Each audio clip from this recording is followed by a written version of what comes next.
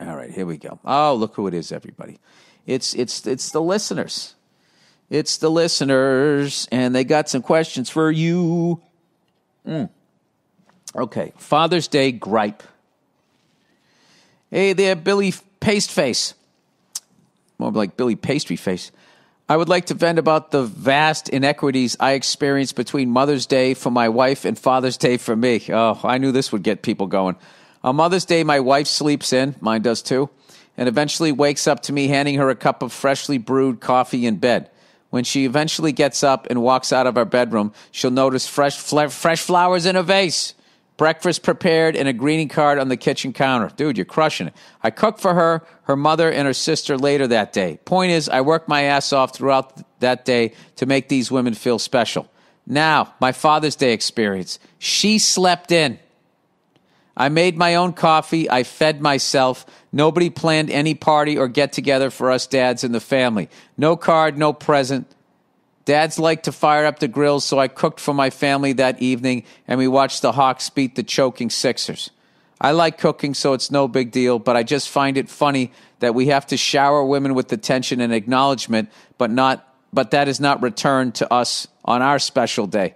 I'm good to my wife and kids, so every day is Father's Day the way I experience life. Uh, the whole holiday thing is bullshit, anyways. Look at that. He just, in the end, he's just like, it's all bullshit anyway. Yeah, dude, it's, it's, I don't know. I don't know that that, that will ever happen. I was going to say, like, you know, at some point they'll maybe realize. The only way they, they like realize that shit is if you do what I did between Mother's Day and Father's Day. You got to keep hammering them that your day is going to be just as special as their day so they don't forget. You know?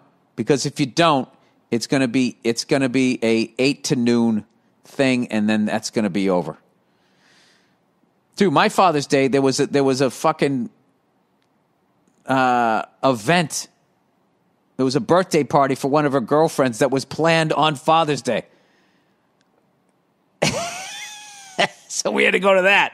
That was my Father's Day. I'm not saying it was a bad event. I love those people. I love her girlfriend. They're all fucking great people. But it's like, I just don't see a world where, like, you know, if I planned a birthday party for, like, you know, one of my buddies and it landed on Mother's Day, it's like, that's, that is being rescheduled without a fucking doubt. Without a doubt, it's being rescheduled. Um, I mean, it's still a great party and everything. I'm just saying. Um, so anyway, uh, yeah, that's just kind of, it's kind of how it is. Um, and we always do, uh, generally speaking, a great thing for them on Mother's Day, but I don't feel that it's necessarily done 100% out of love. It's also done out of self preservation and fear because you know that if they don't feel special, then, you know, you're going to have to deal with the emotional ramifications of that for anywhere from three days to um, they, they might never get over it. Um, and it's be something that they bring up in arguments forever. So, yeah, uh, preaching to the choir.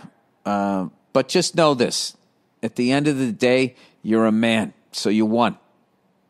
Okay? You're not as complex as, as them, so you can actually enjoy life and you can kind of sustain a certain level of happiness and a certain level of satisfaction. You know, because you're too dumb to know that you should, you should be upset. this is genius to our stupidity. They're too smart to be happy. Um, that's my theory, anyway.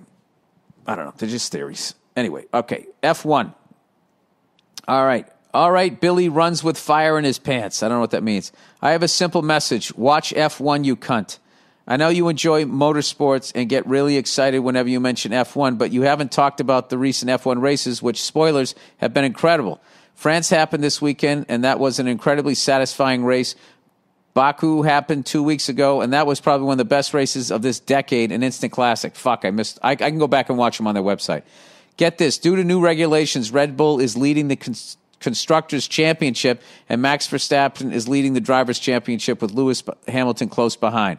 This is the season we've been waiting for. Yes, it is. Shut the fuck up about hockey and watch this shit for ten dollars a month. Well, the thing about hockey is every season is the fucking season you're waiting for. It's hockey. It's fucking great.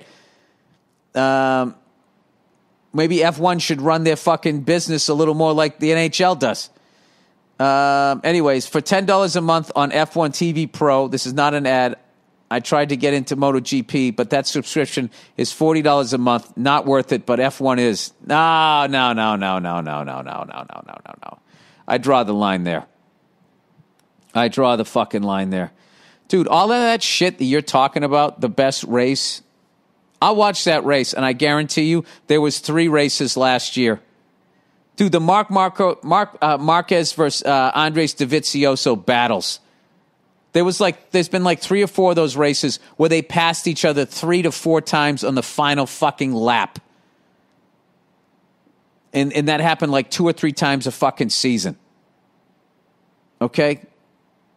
So I don't want to hear like, oh my God, we finally had a fucking exciting fucking race and now this is better than MotoGP. If you want to see passing in racing, which to me is people jockeying for position, passing, you know, the whole fucking thing, then then I would say MotoGP is where it's at.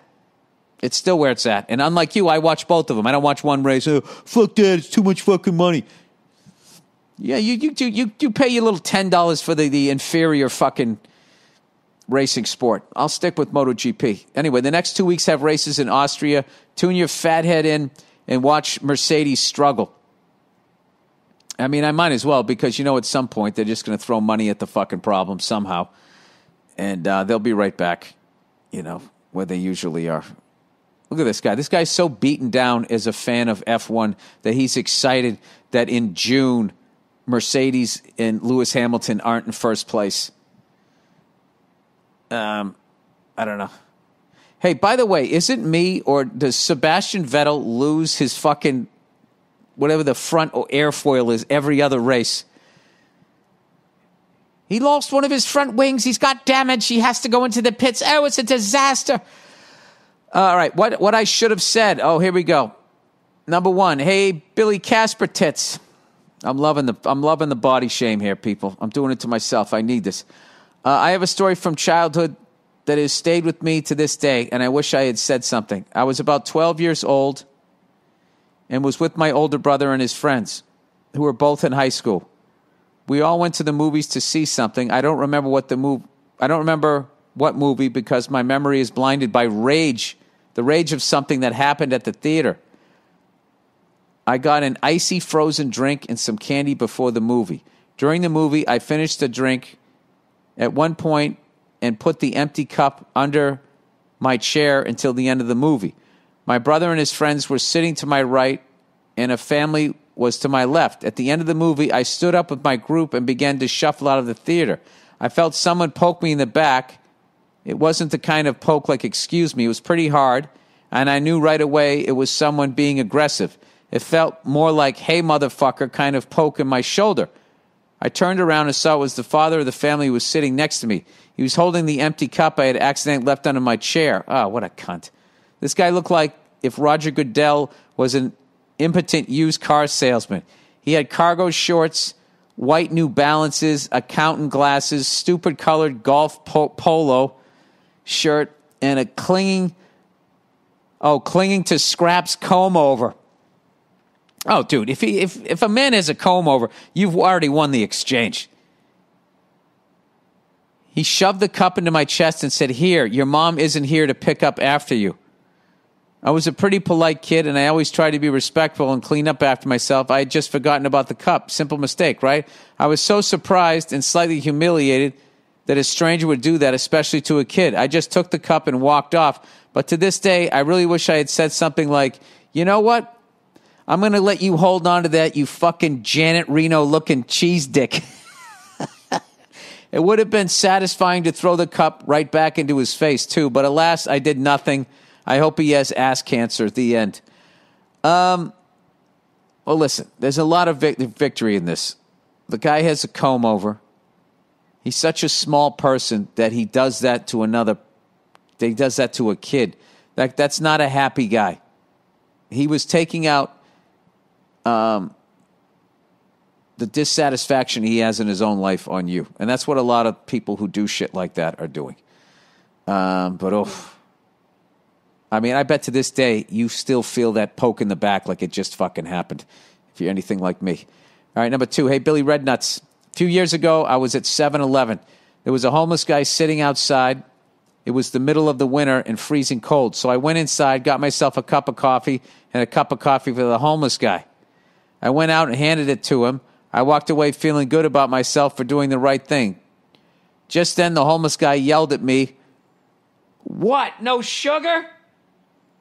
I was stunned and kept walking. I wish I said, Go fuck yourself, you miserable cunt. Ah, yeah, I've had that happen to me. Remember, there was this guy just out of his mind on something. He was sitting near, I was doing a spot at Stand Up New York, and I put some change into his cup. And I walked about five paces, and I just heard the, the sound of change being thrown down the sidewalk, and he just goes, Fuck yeah!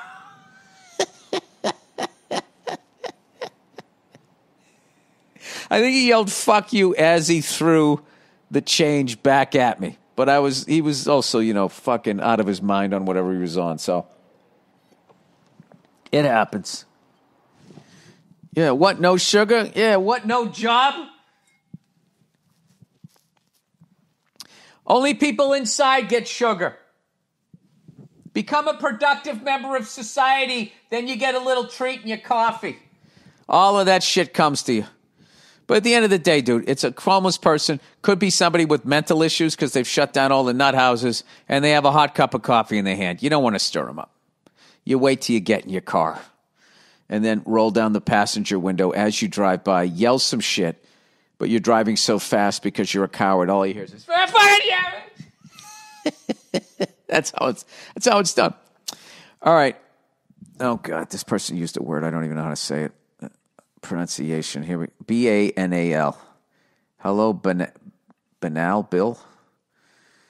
B A N A. Uh, Jesus Christ. B A N A L. Pronun- pronunciation. There we go. Let's all learn something, shall we? Come on. Banal. Banal. Banal. The fuck does it mean? That doesn't sound like something good. Lacking originality, freshness, or novelty. Trite.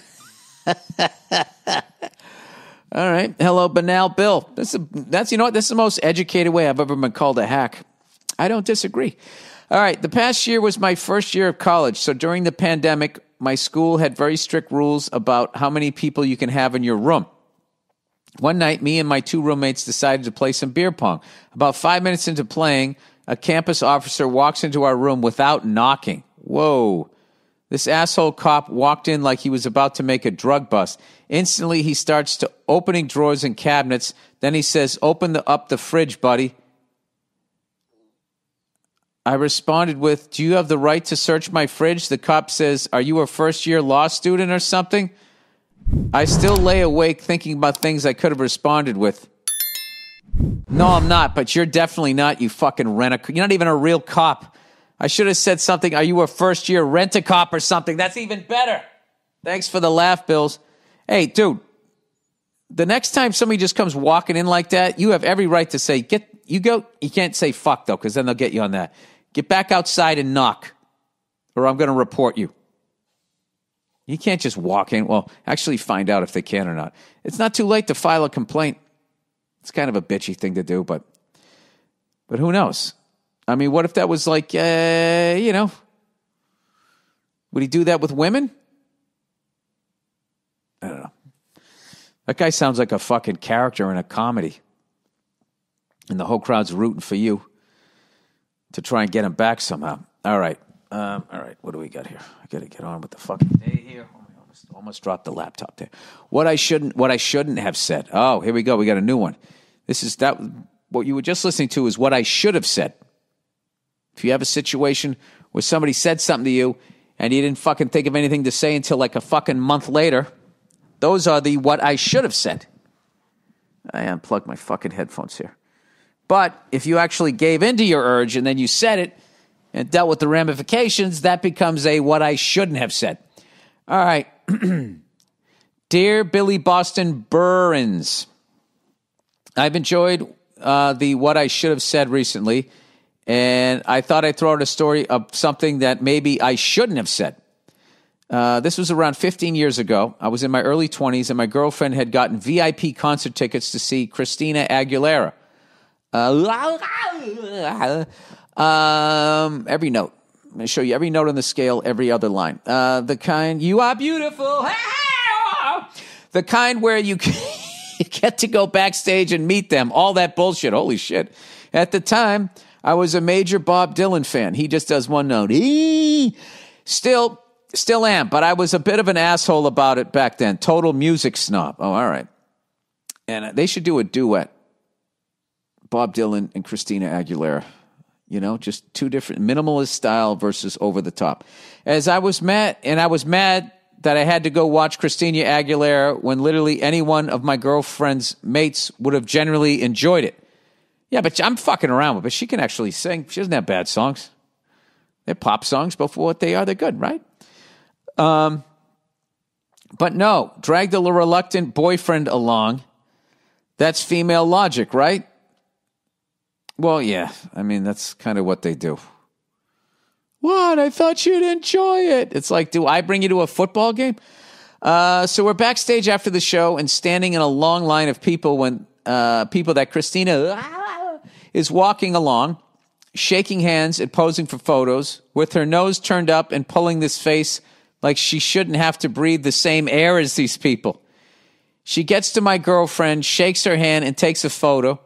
Christina uh, then holds her hand out to me, and quick as a flash, I wave it off and tell her, That's okay, I'm not a fan. Oh my God, dude, you said that? To be fair, Christina, to Christina, she couldn't give a fuck and moved on, but her bodyguard behind her was dying to laugh and gave me a little nod as he passed. Dude, I don't know. This sounds like all victory here. The story, I thought, all right, your girlfriend has to have a bad reaction to this. The story always gets a laugh with my mates, but the older I get, the more I think maybe I should have just been polite. I was at her show after all, so why be a dick? That was me in my 20s thinking I knew better than the rest of the world, the know it all young Englishman. Such is life. Well, you know what? You also fucking you know that about yourself. It happens. Guess what, buddy? You are beautiful no matter what they say. Um, that's all right. Everybody says douchey things sometimes. Everybody's a cunt sometimes. I actually felt bad for her, man, because that's such, such a. The way she was blowing through the line, though, that's one of those things where, listen, if you want to vacuum up the extra money with the VIP meet and greets, you got to fucking either do it or don't. Because uh, the worst thing you do is charge them the extra money for the VIP and then blow through the line, and then they actually feel like uh, like they got mugged. Uh, what needed to be said? Hey, Billy Pasty Legs. Um, I always listen to your show, and recently you've been asking people to write in with their stories about things they should have said in the moment, but they didn't. Well, I have a story for, uh, for you about something actually saying, someone actually saying what they wanted in the moment, and it was brilliant. So this is called what needed to be said. In high school, my friend and I all had the same geography class. I don't know why these stories are so satisfying both ways, because I have empathy for the people that didn't say what they wanted to say and have to carry it, and then I got this like, all right, for somebody super duper for the people who said um, what they wanted to say. Um, I still love that kid from the class. Well, who the fuck asked you? it's that hot chick. Our teacher was a holier than thou feminist, the type that puts down men with every chance they get while building up women in the class at all times. Oh, yeah, right in front of the guys. I, yeah, I took one of those classes about 30 years ago. When a guy would ask any question in that class, she would treat him like an absolute moron. But when a girl asked out loud, Is lava like really hot? This is a grade 12 course. The teacher responded with, What a great question. Yes, it is. Yeah, that's how it works. It's very easy to go from being oppressed to being the oppressor. Uh, getting to the. One day she's going on an absolute tirade. Who knows what happened to set her off like this on this particular day? She goes on and on about how men are absolute creatures that the world doesn't need anymore because women can reproduce without them now because of sperm banks.